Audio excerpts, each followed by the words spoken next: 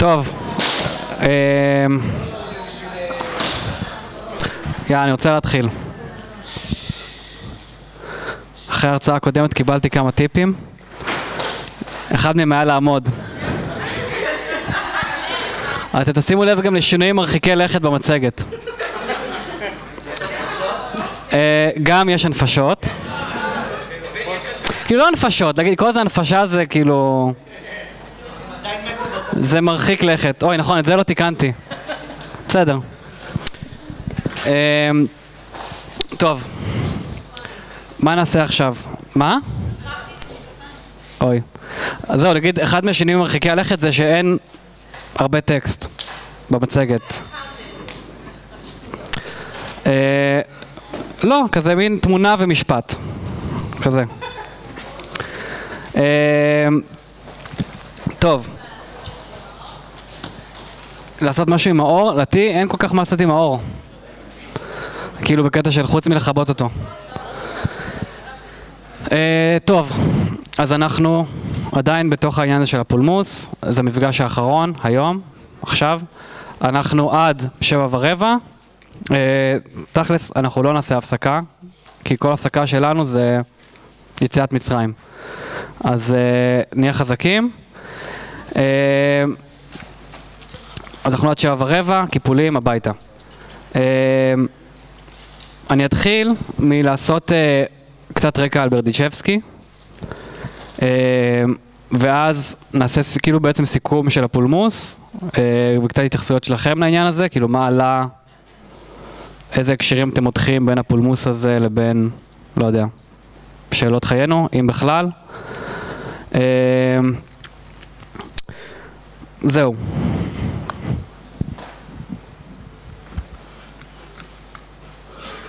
קדימה. הופה. אה, אז מאיפה בא ברדיצ'בסקי? אה, לדעתי זה לא באמת... אה, כן, זה כן צילום. רותי יואל. אה, טוב, אז ברדיצ'בסקי באמת מגיע גם בדומה לאחד העם, מהאזור הזה של נקרא תחום המושב, אוקראינה, הוא נולד שם ב-65. אה, חשוב להגיד על ברדיצ'בסקי, להבדיל מאחד העם, גם בעלילות חייו וגם במפעל הרוחני שלו, הוא דמות הרבה יותר אה, מפותלת. כאילו אחד העם הוא דמות יחסית, גם בהגות שלו וגם בסיפור חייו, הוא, הוא יחסית די עקבי. כלומר, יש לו איזה מין משהו כזה די רציונלי ועקבי, ואחד העם עושה הרבה מאוד לולאות. אה, מה זה? ברדיצ'בסקי, כן, סליחה. אה, אז אנחנו קצת נתחכה אחרי אה, סיפור חייו, אה, בקטנה כזה, ודרך זה גם ניגע בכל מיני נקודות בתוך ההגות שלו. אז קודם כל באמת מגיע משושלת של רבנים חסידיים, שזה בעצם זרם ספציפי ביהדות, כאילו זה איזשהו סוג של זרם שמאפיינים אותו דברים מסוימים, והוא באמת מאוד מתפשט באזור הזה של מזרח אירופה. שכאילו הדמות המוכרת זה הבעל שם טוב. והחסידות זה משהו שבאמת יעסיק את ברדצ'בסקי הרבה. עכשיו אני אגיד על זה כמה דברים, אני לא בקיא גדול בזה, אבל ככה מחקירה אה, קטנה, אפשר לאפיין את זה בכמה דברים. אה, אחד, זה אה, הביטוי או האמרה או כזה הטענה, שזה בארמית, לית אתר פנוי מיניה, יעני, אין מקום שאין בו אלוהים.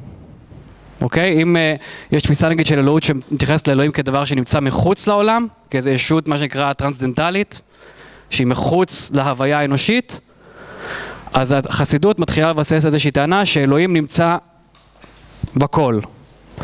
ומזה הם גוזרים אה, עוד איזה מין ביטוי כזה, נראה לי אומר משהו בכל דרכך דאהו, יעני בכל מה שאתה עושה, אה, אתה צריך להשיג אותו, אתה צריך לגעת בו, אתה צריך איזה.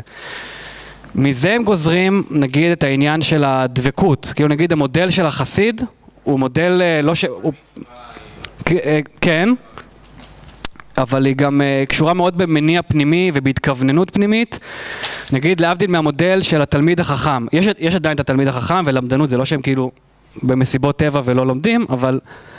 אה, אבל זה מודל שהוא אחר, כלומר, וגם כל הדמויות הח- המאוד כריזמטיות האלה של הרבנים החסידיים, זה גם מאוד נוכח, כאילו שהדמות של, ה, של הרב היא דמות, היא גם מן הסתם למדנית, אבל היא גם מאוד, כאילו, ב, ואז ש- משם מתפתח העניין של חצרות חסידים, אתם מכירים את הביטוי הזה? חצר חסידית?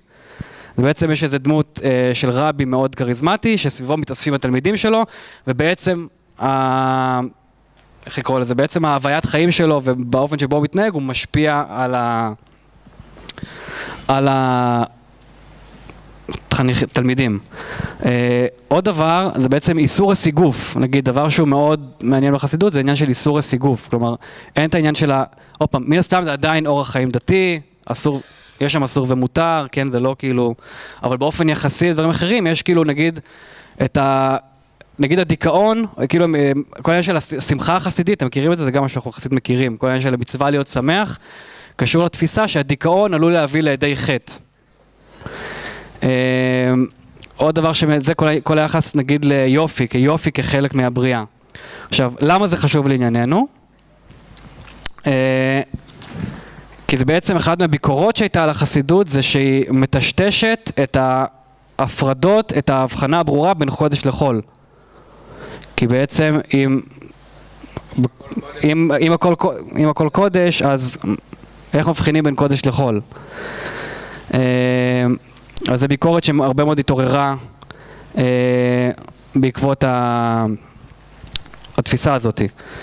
אה, ועוד דבר שחשוב לענייננו זה באמת נראה לי היסוד הנפשי המאוד מאוד חזק, כלומר זה ווליום נפשי די גבוה. כאילו הווליום, מה?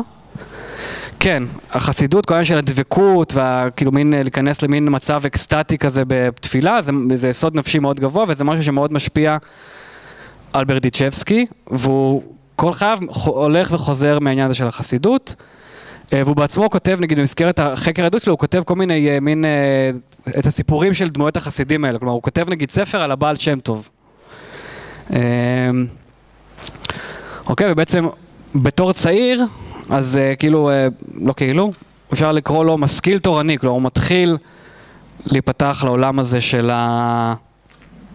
של ההשכלה, אבל הוא מנסה לגשר בין עולם ההשכלה לעולם החסידי, עושה את זה בכל מיני צורות. אה,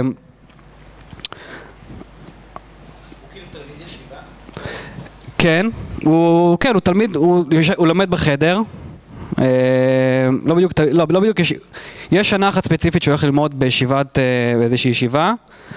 הוא לומד בחדר, ואז מסיעים אותו פעם ראשונה, בעצם הוא מתחתן פעמיים ופעמיים מתגרש, בגלל, הוא בעצם משלם מחיר על ההתמסכלות שלו.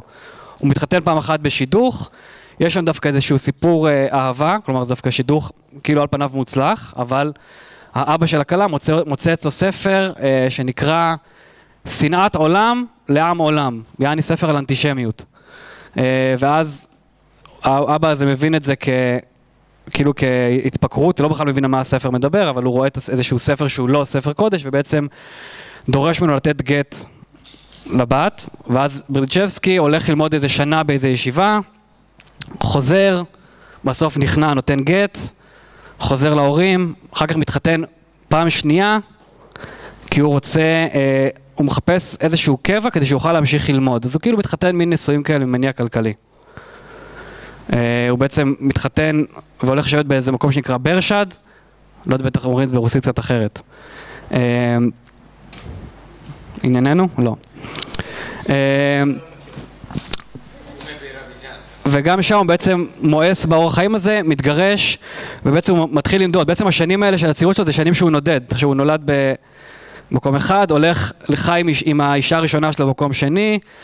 אה, כדי לא לתת גט, הוא הולך ללמוד באיזה ישיבה, אחר כך הוא חוזר, מתגרש, הולך לגור עם אשתו באיזה עיירה רביעית, אחר כך נודד בעצם, ובעצם ההשכלה מתחילה כבר אה, להכניע אותו. אה, אז מה זה להכניע אותו? לשאוב אותו, ובעצם אה, נוסע למערב. אה, בוא נראה אם שכחתי משהו. אוקיי, בעצם בתור צעיר הוא נוסע ללמוד במערב אירופה. הוא נוסע בהתחלה...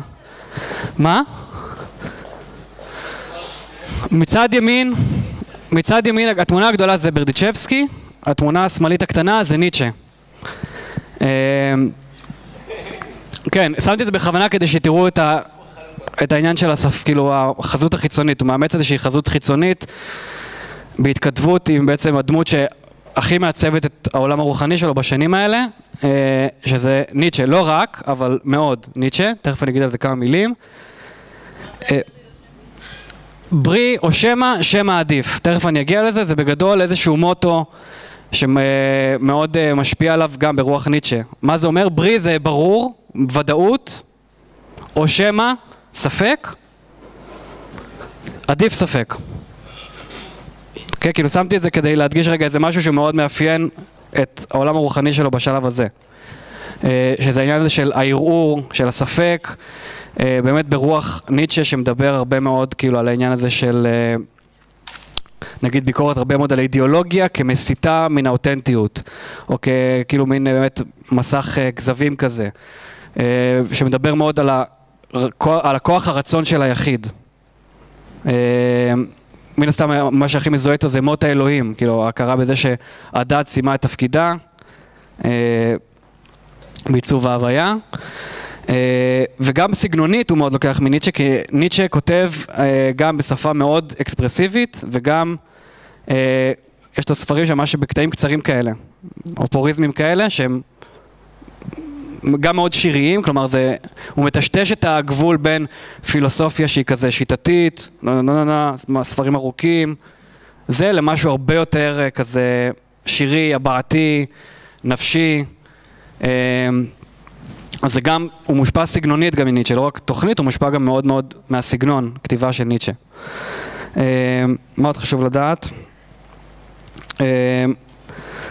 אז זהו, בעצם את ניטשה הוא בעצם, כשהוא, בזמן הפולמוס הוא בזה, כשמתחיל הפולמוס זה, זה, זה ההלך רוח, כאילו הוא בעצם יושב באותו זמן של הפולמוס הוא בברלין, לפני כן הוא היה אה, בברן, שזה בשוויץ, בעצם הוא עשה עבודה, הוא בעצם עשה תואר דוקטור, הדוקטורט שלו הוא על הקשר בין אתיקה לאסתטיקה.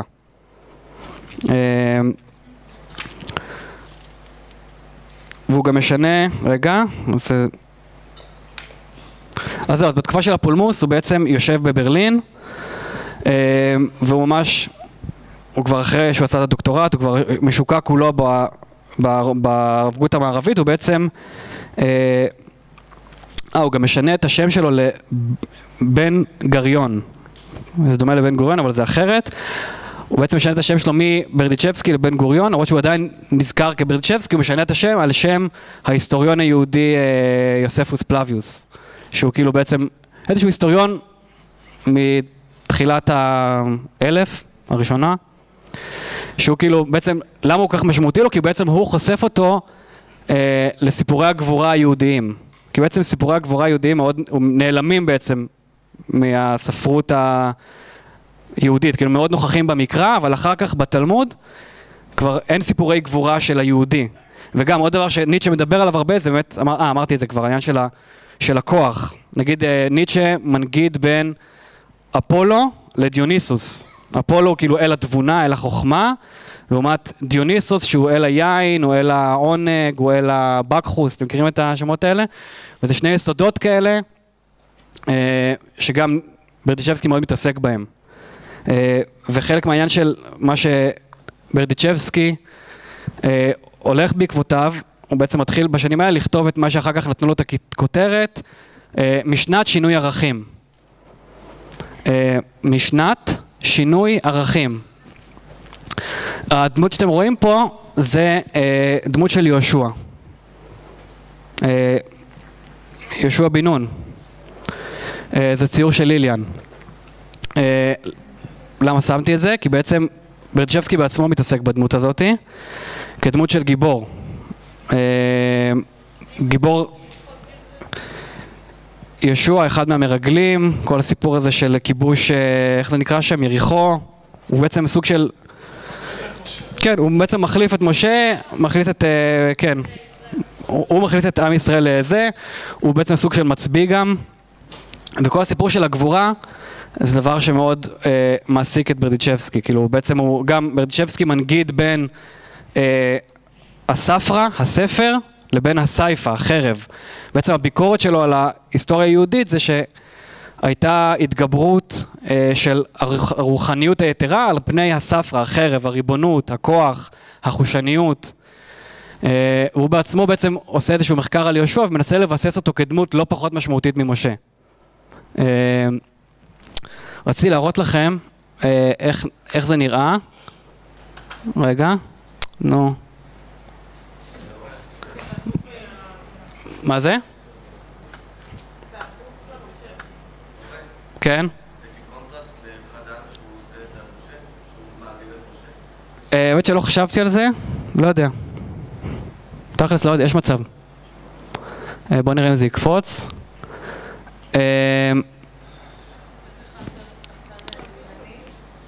מישהו יכול לעשות את העניין הטכני רגע? להעלות זה מקפיץ לאתר של בן יהודה.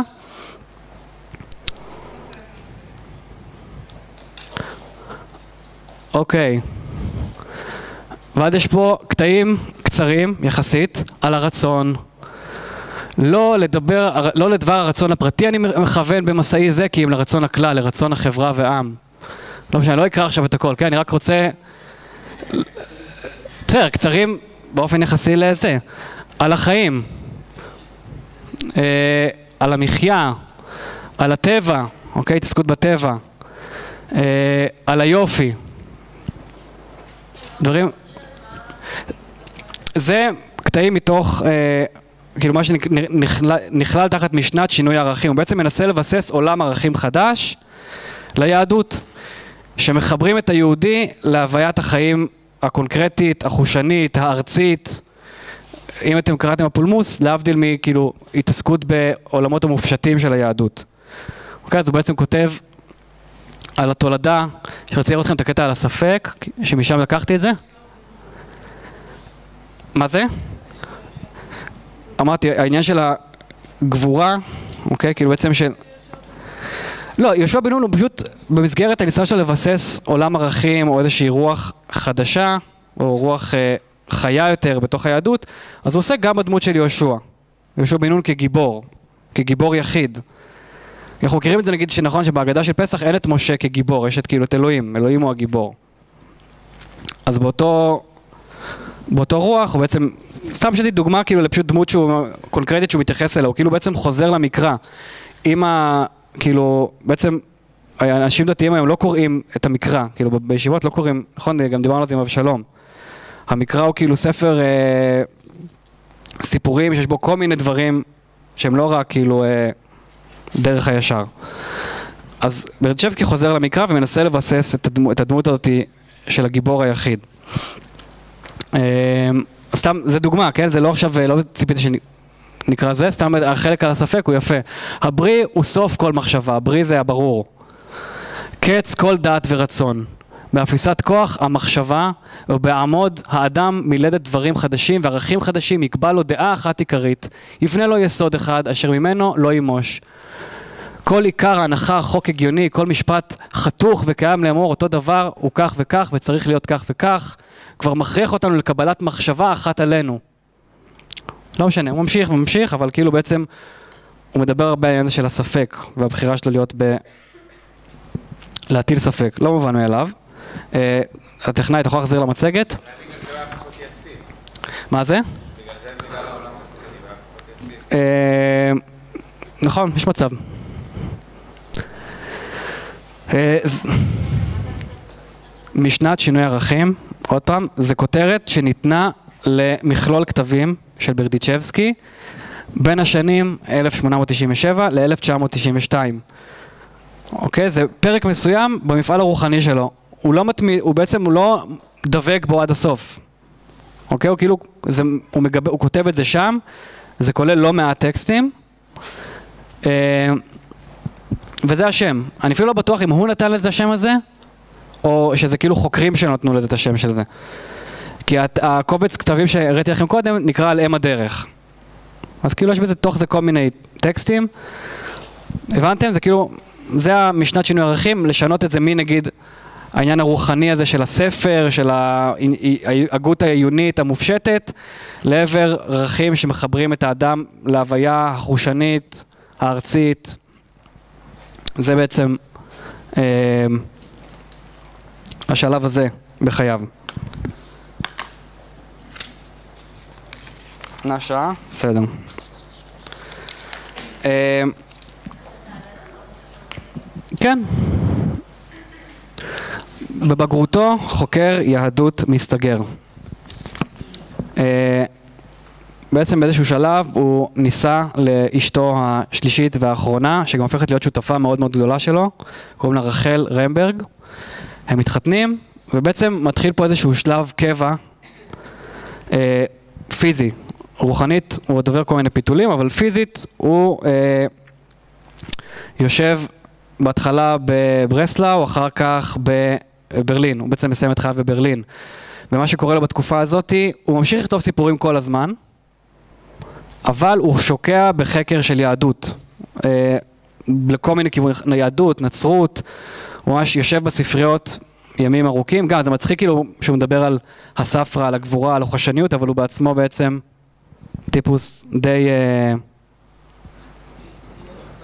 כן, כאילו, כאילו זה, כן, הוא יושב, הוא בעצם, הוא בעצמו די עסוק בעיון וזה וזה וזה, אבל הוא כותב משהו שמאוד משפיע אחר כך על חלוצי העלייה השנייה. כאילו מי שמאוד לוקחים את מה שהוא אומר זה חבר'ה של העלייה השנייה, ברנר, בן גוריון, כל אלה. אז הוא עצמו לא היה איזה אדם חושני במיוחד, אבל אה, זה כן משהו שהוא מאוד משמעותי אחר כך בהתפתחות. אה, הבאתי פה ציטוט, מאבקים היהדות עובר כחוט השני בכל אשר עשיתי עד כה ואותו לא גמרתי ולא אגמור לעולם. אה, בעצם הוא מצד אחד מדבר מאוד גם בפולמוס ראיתם על לפתוח את היהדות לעוד אה, השפעות וזה, אבל הוא עצמו כותב אך ורק דברים שקשורים ביהדות. כאילו, איפה הוא כותב דברים אחרים? ביומן שלו. אבל כל מה שהוא מפרסם, אה, הוא אה, עוסק ביהדות, אם זה הסיפורים שלו ואם זה ה... הכתבים היותר עיוניים שלו, עוסקים אך ורק ביהדות. אה, תכף אני אחזור לזה. אה, נכון, וזהו. אבל כל מה שהוא כותב אחר כך, זה עוסק רק ב... וגם זה אני חושב שהוא... תכלס אני לא מספיק מכיר את העבודה הזאת, אבל אני חושב שזה לא... שזה באמת יוצא מן הכלל. אה, מה עוד חשוב להגיד? 21. הוא ממש מסתגר, הוא גם לא מרשה לפרסם את התמונה שלו בציבור. ממש לא מרשה, אין הרבה תמונות שלו. אחת הפעמים היחידות שהוא שולח תמונה שלו למישהו זה לברנר. קורות לו בעצם בשלב הבגרות שלו, שהוא כבר יחסית מבוגר, קורות לו שתי טרגדיות מאוד גדולות, שזה אבא שלו והאח שלו שנרצחים בפוגרום בדובובה. דובובה. לא, זה קורה ב-1919 לדעתי, משהו כזה. כן, יחסית כבר בסוף חייו, ממש בשנתיים האחרונות שלו יש לו שתי טרגדיות שקורות לו בטווח די קצר. אחד זה הרצח של אבא שלו בפוגרום, אבא שלו ואח שלו, גם יש לזה תיעוד די אכזרי, כאילו זה משהו כזה עם, עם ביזוי כזה של גוף, משהו לא נעים. והשני זה הרצח של ברנר ב-21. הם בעצם מאוד מאוד קרובים ברוח, וברנר, הם נפגשים פעם אחת, אבל הם מאוד מאוד קרובים ברוח. וזה גם שני, בעצם, יש להם איזה ערך סימבולי בחיים שלו, כן? זה ברור לכם שכאילו, כל כך עסוק ביהדות, והוא בעצם, זה פוגע בו באופן, כאילו זה מאוד, כאילו מן הסתם זה גם אישי כי זה אבא שלו, אבל זה גם, יש לזה משמעות רוחנית מאוד גדולה. שהוא כל החיים שלו נאבק עם היהדות, וזה כאילו, וזה איזשהו דבר אה, מאוד דרמטי. אה, הוא מת בברלין ב-21. אה, למה את חושבת? סליחה, היא שאלה מה, למה הוא כותב מאבקי עם היהדות?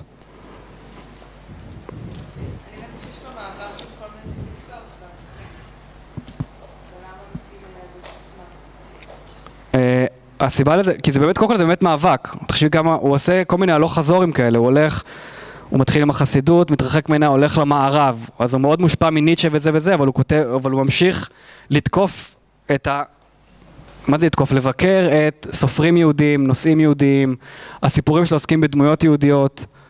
הוא במאבק, הוא כל הזמן, במה, הוא, הוא תופס את זה כמאבק. אבל על אף שהוא מתנגד וזה, הוא עדיין במאבק עם מושא ספציפי, שזה היהדות. לכן הוא אומר, לדעתי, הוא אומר, מאבקים עם היהדות. כאילו אה,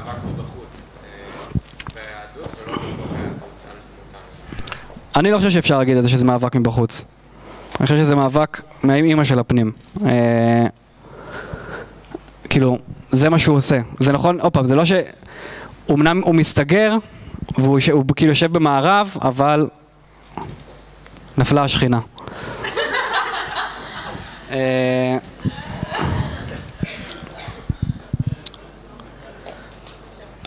אבל רקע רוח התקופה זה לא שיש כאילו איזה ציבור מכונס, כאילו... לא, מתחיל להיווצר בארץ ישראל, אבל זה כאילו, זה עדיין לא הנורמה, כלומר זה לא שהוא... כל עם ישראל בארץ ורק הוא יושב בזה ודברי תוכחה, כאילו, הנורמה היא שהעם יושב מפוזר וגם הוא.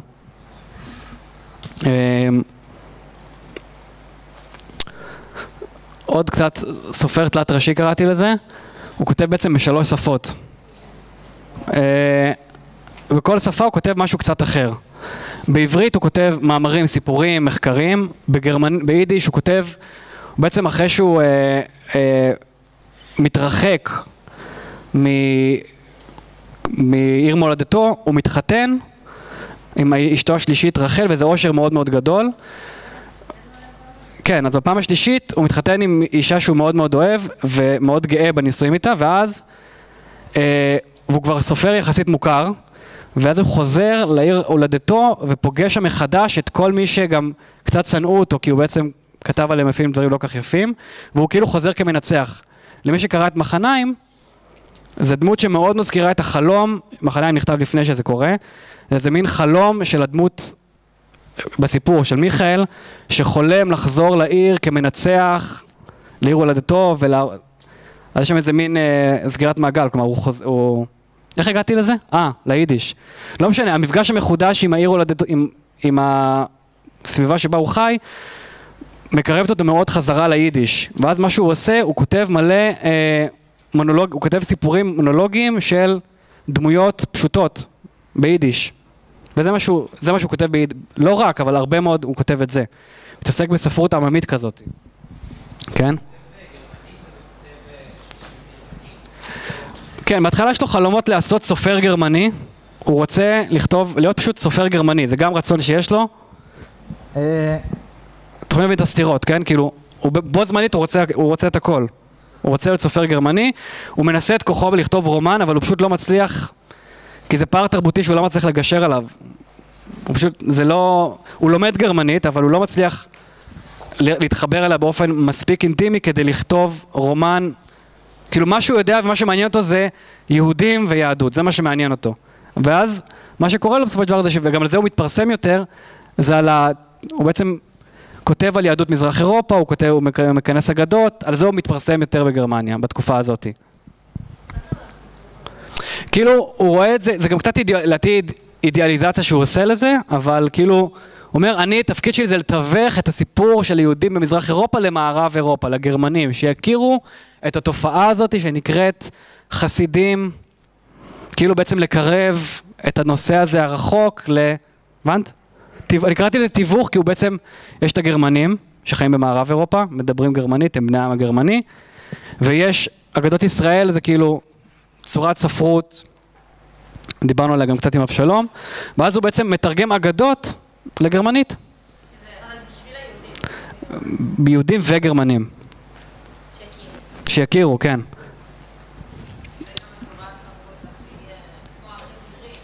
כן, בדיוק. כן, סיפורי עם כאלה, כן. אה, וגם, כתבתי, החזרתי את זה כי זה בעצם, כל הנושאים הם התעסקות בגדול בנושאים היהודיים. אה, אה זה ציור של אה, מרק שאגאל, אסוציאטיבי. קצת על הספרות שלו. Uh, התמונה ממנחם זה באמת התמונה, זה הכריכה של הספר, שמתוכו הוצאתי את שני הסיפורים של ברדיצ'בסקי. אה, מאוד מומלץ, יש שם פשוט אסופה של סיפורים קצרים, בתוכם יש את מחניים, קלונימוס ונעמי, פרה אדומה, כל מיני סיפורים, שבאמת מה שמאפיין אותם אה, זה כמה מוטיבים אה, מרכזיים, שאחד זה הדמות הזאת של היהודי התלוש. הוא לא ממש הראשון, אבל הוא בהחלט מאוד מאוד מרכזי בליצור את התמה הזאת של היהודי התלוש. הדמות הזאת של היהודי שלא מוצא את עצמו פה, לא מוצא את עצמו שם, ברנר אחר כך מאוד מאמץ את זה, כאילו הרבה סופרים, הוא לא היחיד. אה, אז יש את זה במחניים, במיכאל הזה שנוסע לעיר במערב, רוצה להיות סטודנט, הולך לאיבוד. Uh, הכוחות הסמויים המניעים את המציאות, זה גם איזשהו מין, למי שקרא את קלונימוס ונעמי, יש שם הרבה מאוד סיפור של שיגעון. Uh, ואיזושהי עלילה כזאת שהיא באמת, אין לה הרבה נימוק, היא פשוט קורית. Uh, אני לא עכשיו אפרט כל העלילה, אבל כאילו גם איזשהו תמה כזאת של מציאות שהיא משהו שרוכש מתחת לפני השטח. אה, קודם כל זה משהו בהשפעה יחסית, מה שנקרא מודרניסטית, אה, רומנטית, מודרניסטית, אה, הוא מושפע מאוד מאיבסן. אני לא רוצה להרחיב על זה יותר מדי, אבל קודם כל, קודם כל מה שמאפיין את זה שהוא שם את היחיד במרכז של הסיפור, זה גם דבר לא מובן מאליו. יחיד, קונקרטי, עם רגשות, עם תחושות, הוא, מב, הוא מבטא שם אה, הרבה פעמים תודעה, רגשות, זה לא דברים, זה דברים שלנו בספרות הם מאוד מאוד מובנים מאליהם, אבל הם לא כך מובנים מאליהם. בספרות היהודית, העברית, בזמן הזה. אה, יש כאילו סופרים גדולים עבריים בתקופה הזאת לפניו, זה כזה מנדלה מוכר ספרים ושלום הלחם, שמספרים כל מיני סיפורי אה, גרוטסקה כאלה על יהודים בשטייטל. אה, זה כאילו כזה מין דור ספרותי אחד לפניו. והוא מגיע ומתאר בכלל איזושהי מציאות יצרית מאוד. מאוד מאוד יצרית, יש הרבה מאוד עיסוק עם מין, עם יופי, עם חטא, חטא ועונש. מי זה מה? מי יודע לקרוא עברית? אה, כמו שאמרתי פעם שעברה, אין הר... זה לא קהל מאוד רחב שקורא עברית. דנה שאלה מי קורא עברית בזמן הזה. אה, אין לזה נתונים מדויקים שהצלחתי למצוא, אבל זה לא ההמון, זה לא כאילו כולם. זה יחסית איזשהו מיעוט איכותי, כאילו, נתתי אה, נגיד, נגיד על כל כתב עת שיוצא, ויש נגיד בכל תקופ, כל זמן נתון בערך נגיד חמש, שש, שבע, אז לכל אחד מהם יש נגיד אלף מנויים. ושם מפורסם, מפורסמים ספרות עברית, ואז...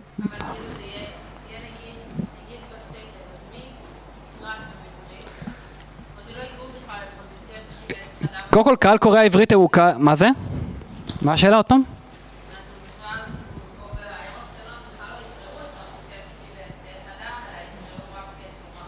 אני תכלס לא רוצה להיכנס בזה, יש קוראי עברית, הם לא רבים. אה, זהו, הם יושבים בכל מיני מקומות, הם נמצאים, כאילו, מה אפשר להגיד על זה? בשלב הזה כבר מתחילים לשבת גם בארץ, כאילו עלייה שנייה. אה, ההכרח היהודי, גם זה איזשהו תמה שחוזרת על עצמה, העובדה שהגיבור תמיד חוזר, כאילו המשבר שלו תמיד קשור ביהדותו, והוא כאילו, לא יודע אם תמיד, אבל זה מאוד מאפיין. כן, זה מין גורל יהודי כזה, כן? שאתה, גם מיכאל, אה, בדמות של מחניים, לא, הוא נוסע מאוד מאוד רחוק ל, לעיר הזאתי, אבל בסופו של דבר קורה שם מה שקורה שם, והוא כאילו מין אה, נשבר וחוזר, לא בדיוק חוזר בתשובה, אבל כאילו מין מכיר ב, בגורל היהודי, אפשר לומר. נכון, גם קלונימוס. אה, כן. השפעה. אה, זה ציטוט של ברנר, שכותב לברדיצ'בסקי לפני שהוא בא לפגוש אותו. וכותב אני לך באותם הרגשות שביחס למחמד נפשי ולמרכז געגועי הרוח.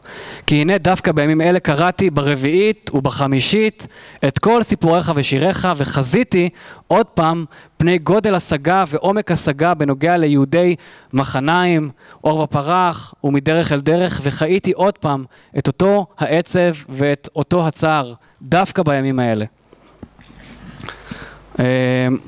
זה ברנר, אחר כך הוא נוסע אליו, ל... לא זוכר לאן, לברלין נראה לי, הם נפגשים פעם אחת וזהו. אבל הוא מאוד מאוד, השפעה מאוד גדולה על בעצם הדור הצעיר של הסופרים.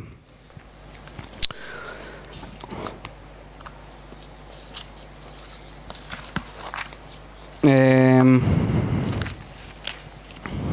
עד כאן שאלות?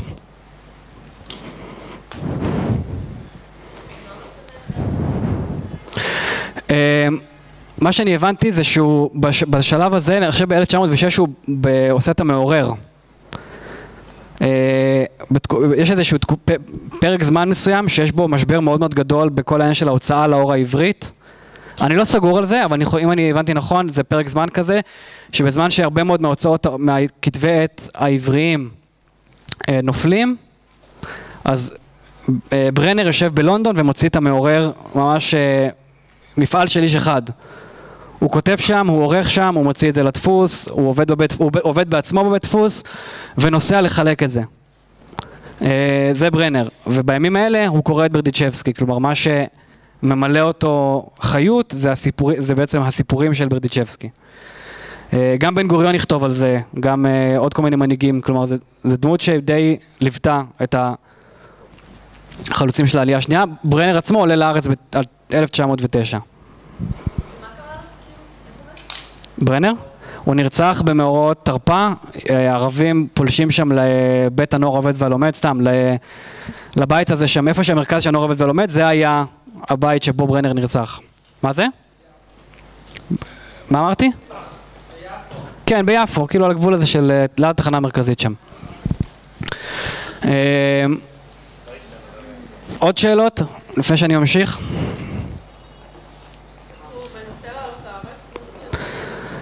הוא פעם אחת שוקל את זה, אבל לא ברצינות. כאילו, כזה הוא מחפש מה לעשות, איפה הוא יכול לכתוב, ואז הוא מתכתב, אומרים לו עזוב. זה לא בשבילך. הוא כותב, הוא כותב. כן, הוא ברור שהוא כותב, הוא כותב, הוא מתייחס לקונגרסים הציוניים, הוא, הוא כותב הרבה. Uh, בגדול הוא בצד של אחד העם בהקשר הזה. כלומר, הוא לא כל כך אוהד את הרצל דווקא. Uh, ותוכנית אוגנדה וכל זה. Uh, מה עוד אפשר לומר? נראה לי שעד כה זה ככה קצת על ברדיצ'בסקי. Uh, עכבר?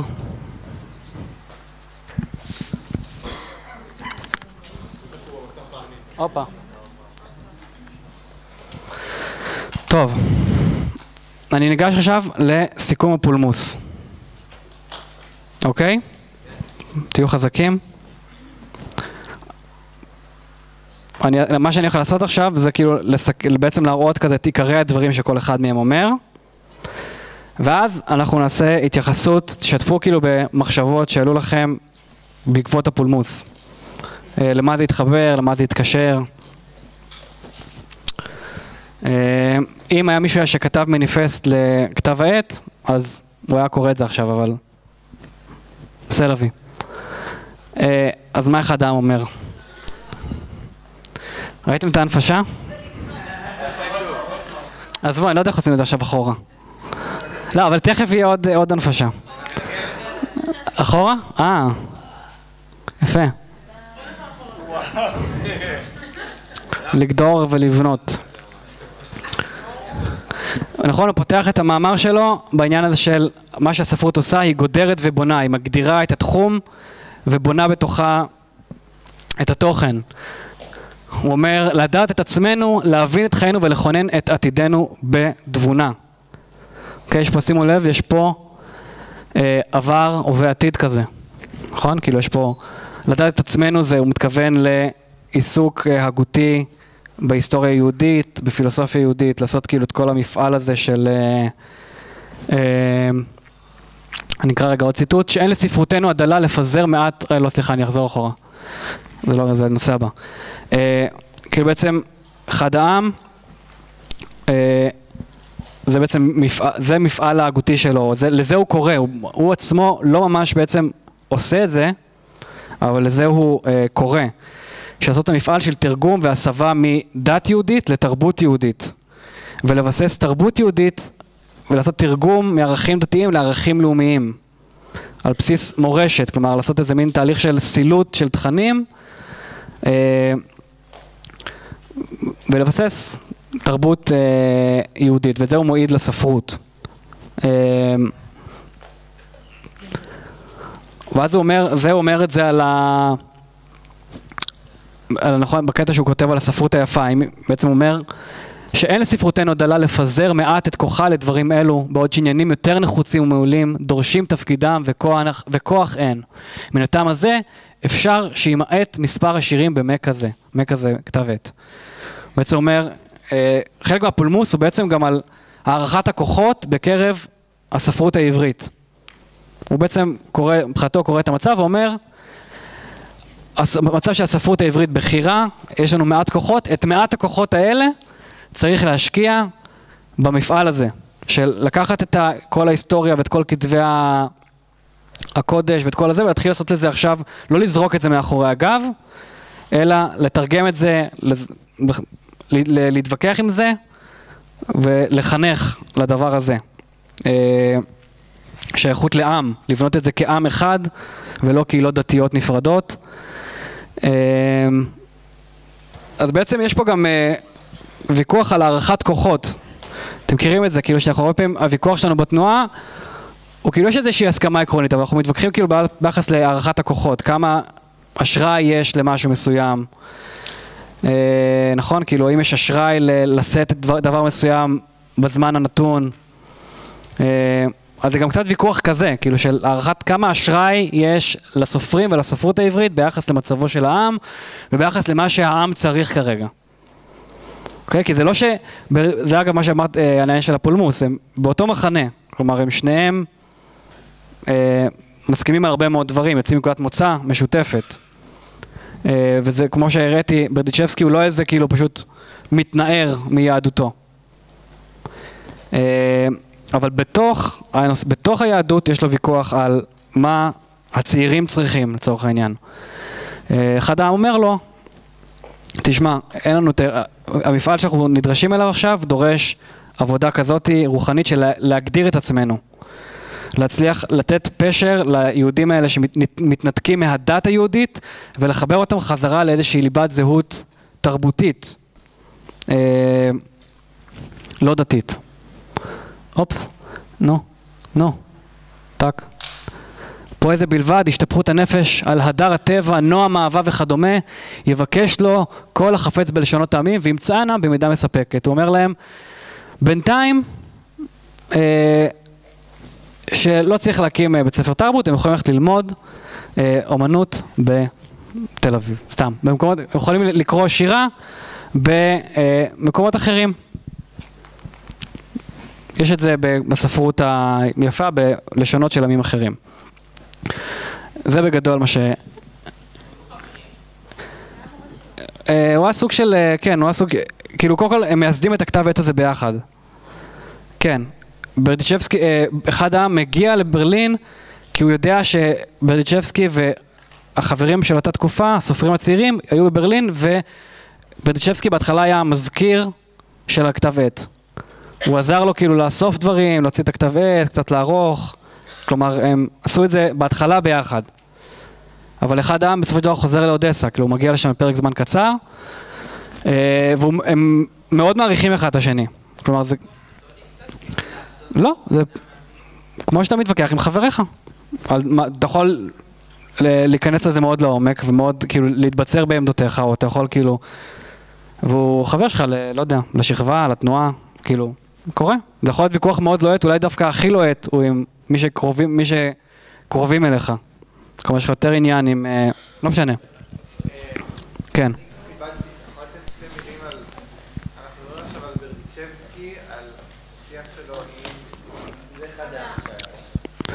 עד עכשיו עשיתי סיכום של מה אחד העם אומר בכתב, אה, במניפסט הזה שהוא כותב, תעודת השילוח. קראנו אותו פעם שעברה. זוכרים? פחות או יותר.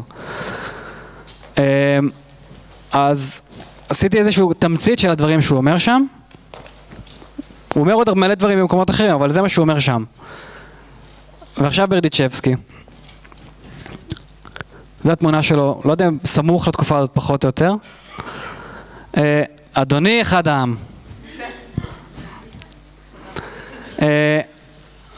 אבל בחורי ישראל שהנוסעים יהיו לנוע אל כרמים אחרים כדי להשביע רעבון נפשם, לא יבושו כלל לומר לעצמם בחשאי או בגלוי, כי הספרות העברית כוללת רק דברים מתים, שכבר אבד עליהם הקלח.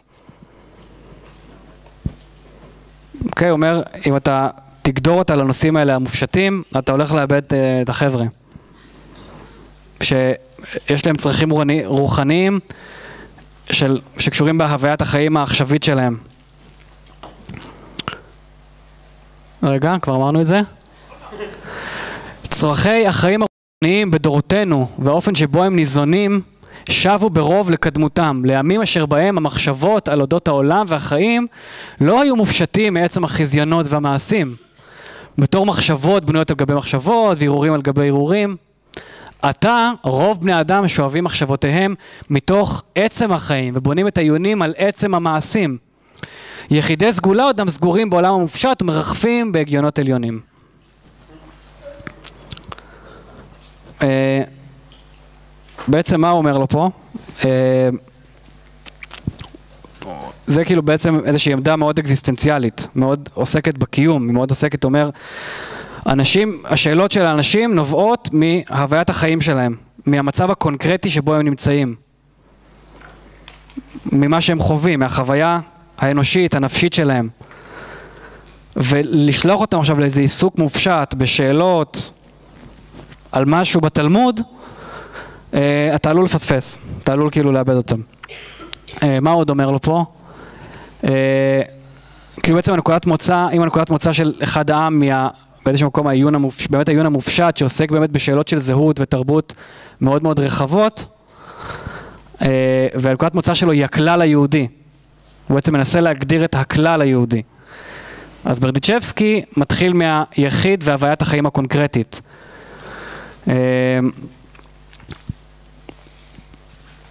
נניח, אוי. מה בא לפני מה? רגע. ובחורי ישראל, צורכי החיים. בתור אחד מצעירי הדור החי היום, שיודע ברוב או במעט את אשר בנפשם ולבבם, את הרת רוחם ושאיפותיהם, חושב אנוכי כי כנפשך, כנפשם וכלבבם אדבר אליך היום. צר לנו המקום. אומר לו, מה שאתה מגדיר כהספרות העברית, צר מלהכיל את מה שאנחנו צריכים.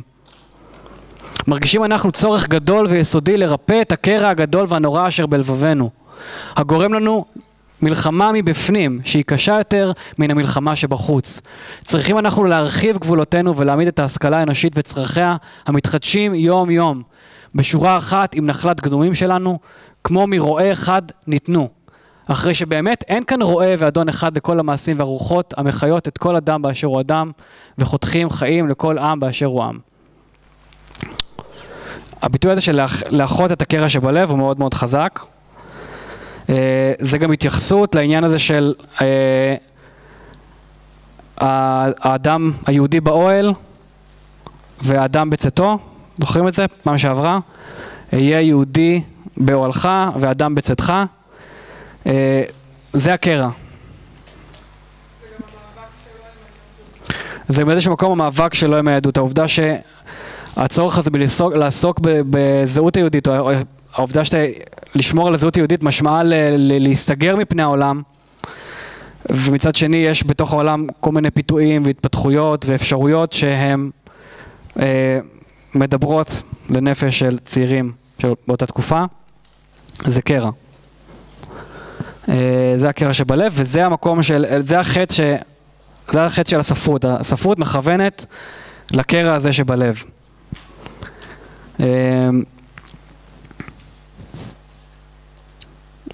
נו, חייאת רבאק.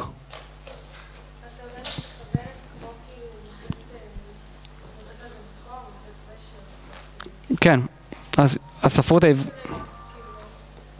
תגידי את זה יותר חזק.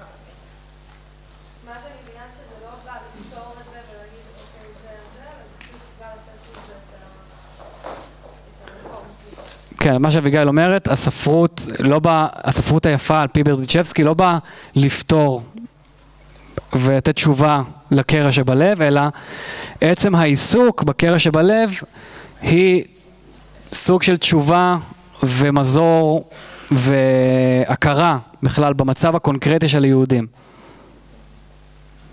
כן, זאת, זאת הצ... הצהרה היא צרה של יהודים קונקרטיים, לא הצהרה של היהדות המופשטת. בנקודת זמן הזו, בנקודת זמן אחרת הוא יגיד גם דברים הפוכים ברדיצ'בסקי, אבל לצורך העניין.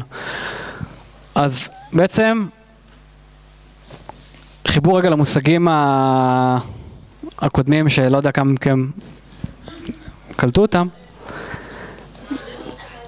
הממד הסינכרוני, אוקיי? בעצם, אה, הם שני, אי אפשר להגיד על אחד מהם שהוא זה והשני שהוא זה, אבל לצורך העניין, בפולמוס הזה, אפשר להצביע על כך שברדיצ'בסקי, הסינכרוני, אם אתם זוכרים, זה הממד האופקי.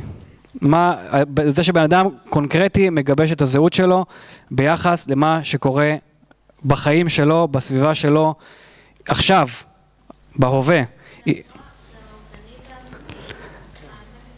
נכון, זה, מתוך, זה משם. אני עכשיו כאילו מחבר רגע את המושגים האלה חזרה לתוך הפולמוס. הבנתם? אני כאילו רגע, התחלנו מזה, זה נקלט באופן מסוים, ואני בכל זאת מתעקש.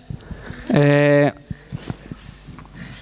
אז הממד הסינכרוני זה הממד האופקי, אוקיי? אמרתי, הממד שבו בן אדם, הבן אדם הקונקרטי מגבש את זהותו ביחס את מי שהוא רואה, את מי שהוא פוגש, השאלות של התקופה. וברדיצ'בסקי אומר לו, תראה מה קורה מסביב. היהודי, היהודים היום מתמודדים ככה וככה, וזה מה שקורה בעולם. אה, ואנחנו צריכים, והספרות צריכה להתייחס לזה. הספרות צריכה לש, לשאוב את ההשראה שלה ואת החומרים שלה, לא רק מתוך מה שאתה גודר ומגדיר כיהדות. אה, אז זה הממד הסינכרוני, מסונכרן במקביל. אחד העם אומר, לגדור ולבנות, לדעת את עצמנו, להבין את חיינו, לכונן את עתידנו. דיאכרוני, באמת מדבר על העובדה, העניין המסורתי, העבר, הווה, עתיד. העובדה שאנחנו, אה, ההווה שלנו מעוצב ומושפע ממורשת. אה, שהסמלים שאנחנו מסתכלים עליהם, סמלים שיש להם עבר, שיש להם היסטוריה. אה, זה הממד הדיאכרוני, בעצם חדם עובד על לייצר, את, כן, לייצר את הרצף הזה, את הקשר הזה, מבלי להינתק. אז רגע, אז באמת בואו עכשיו, אה, זה כאילו רגע עד כה הסיכום של מה קורה בפולמוס הזה. זה בתכלס מסתמך בעיקר על שני הטקסטים שקראנו, הוא מתגלגל אחר כך הלאה לעוד מקומות, אה, אבל בואו כאילו תתייחסו מחשבות על איפה זה, האם זה מהדהד, מה זה מהדהד היום אצ, אצלנו, אצלכם, לא יודע.